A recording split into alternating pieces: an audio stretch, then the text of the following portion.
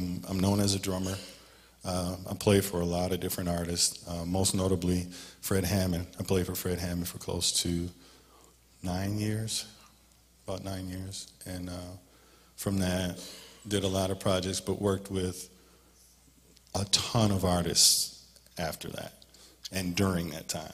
Um, and I really thank God for those those times. He He blessed me to be able to undergird Fred Hammond's ministry and different ministries, just like Roy said. Um, uh, but uh, start of uh, January 07, I, I started getting sick, but not really realizing what was going on with me. I um, started losing weight, and um, you know, my wife would ask me all the time. My wife, Kimberly, is here. She normally never gets to come with me.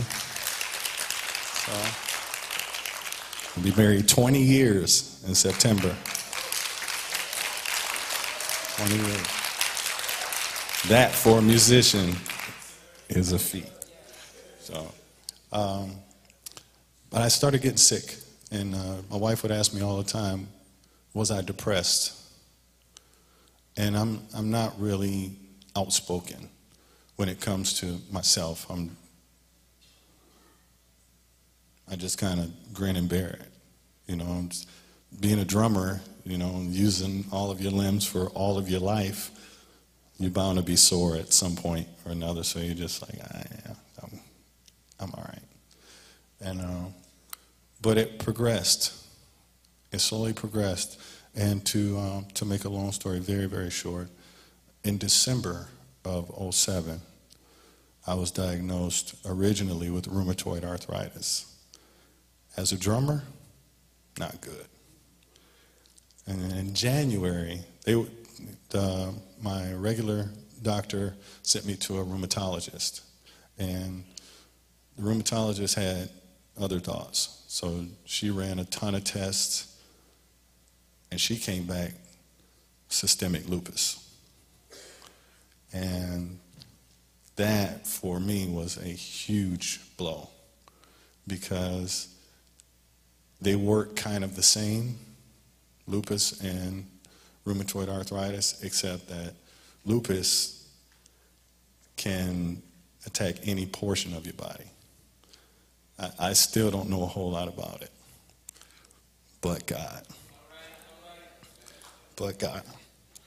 I um from January to March, it I digressed quickly. I was on the road um, for the latter portion of the year with Mary Mary. I was playing drums and road managing, and um, every date was very hard, very, very, very hard. So January, I was home, and uh, it was hard to even get out of bed. Know, my wife would tell you, you know, just regular, everyday get up out the bed, jump in the shower was an ordeal. You know, 30, 40 minutes. And my, my bedroom from, from the master bath is 10 feet, maybe. March 8th, I had to crawl into the bathroom, sit on the floor in the shower because I couldn't stand up. I couldn't stand up. And I sat on the floor and I told God, I can't do this. You've assigned me to mentor young musicians for your glory. And I can't get off the floor. How am I going to do this? I need your help. I need your help. Now, I've, I've been in church all my life. I've I've never played with secular artists on a long term level. You know, if, if I did play with a secular artist, it was a one time deal. That's not my calling. It's just not my calling. But um, being able to reach the people that God has assigned for me was most important to me. And if I had fulfilled my assignment, I didn't know. So I'm sitting on this floor, Water's hit me in the face, and I'm like, Lord, I need your help. And I said, uh, that there's nothing else I can do. There, I can't even stand up. There's nothing else I can do. And I heard, I will help you. And the coolest breeze in the hottest shower came it came over me and I was able to stand up. I gained strength from air. He breathed on me.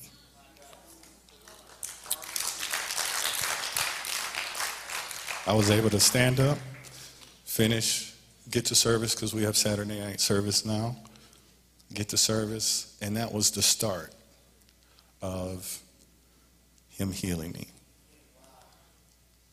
That service, my faith grew. First service Saturday morning, uh, Sunday morning, 8:30. Worship was incredible, and it was just a breeding ground for the miraculous and I wanted the miraculous. I had never been, I've seen many, many miracles, but I've never been a miracle. I've never been a miracle. I've played and been a part of people's services that have, they've, they've received sight, they've received their hearing. And I've, I was on the drums, you know, ushering that in. It's a wonderful thing, but I've never been one. So, first service, faith grew a little more. Second service, it was pretty much overwhelming. I was like, okay, I'm, I'm good. Third service, third service, um, the pastor said something, and I've heard it almost as a cliche. I don't know how many times. You know, playing for different people all over the world, you hear. It seems like all the uh, pastors have the same stuff. You know, churchies and all of that, you know. So it's like, you know, if you want God to do something for you that He's never done, you do something for Him that you've never done. And I've heard that so many times. And I'm the audio director at my ministry. Um, and I got on the floor under the council and I cried out to God. You know, the floor was nothing new to me. So I was, I was good on the floor thing. So as I was on the floor, I felt strength just overwhelm my body. So much so when I stood up, I could jump, I could leap, I could, I could run. I could run. People would see me and I couldn't I couldn't do any of that. I mean I I walked like an old man. Didn't I, honey? I walked like an old man. I stood up. The pastors had been looking for me. They looked back there, called me to the front. I came up, I said, God healed me. He said, We're going to seal it then. They prayed for me. I've never been the same. I've never been the same. Never been the same. Praise God. Praise God. So it's a it's a test. It's the testimony that even in even in uh, everything the Lord had given me to do prior to now, playing.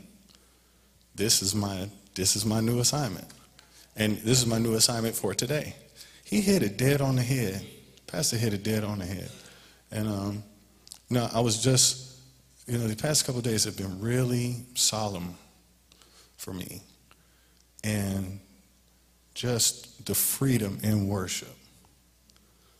And this, she started singing, You're great. You do miracles so great. I'm the miracle. He did that great. He did that great. So I want to I'm going to um, share something with you. I'm going to play. I hadn't been able to play. I've started play, I started playing again in March, but I hadn't been able to play. I know. These are very rough, but they're for. They're for the glory of God.